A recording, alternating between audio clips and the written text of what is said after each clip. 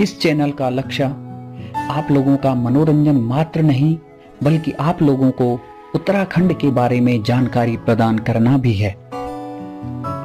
यूँ तो उत्तराखंड राज्य अपनी प्राकृतिक सौंदर्य, सांस्कृतिक धरोहर और धार्मिक विरासत के लिए पूरे संसार में प्रसिद्ध है।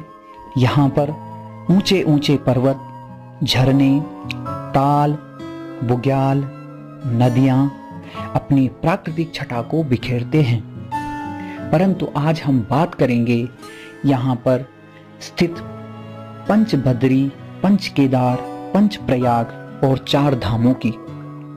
सर्वप्रथम पंच बद्री में श्री बद्रीनाथ, श्री आदि बद्री श्री वृद्ध बद्री श्री योग ध्यान बद्री और भविष्य बद्री हैं। ये सभी चमोली जनपद में स्थित हैं।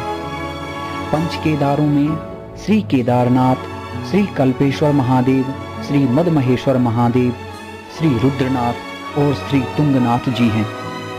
तुंगनाथ जी उत्तराखंड के सबसे ऊंचाई पर स्थित मंदिर हैं। इनमें से कुछ चमोली जनपद में हैं और कुछ रुद्रप्रयाग जनपद में हैं। बात करें पंच प्रयागों की। प्रयाग अर्थात दो नदियों का संगम। देव प्रयाग यह अलकनंदा और भागीरथी नदी के संगम पर स्थित है।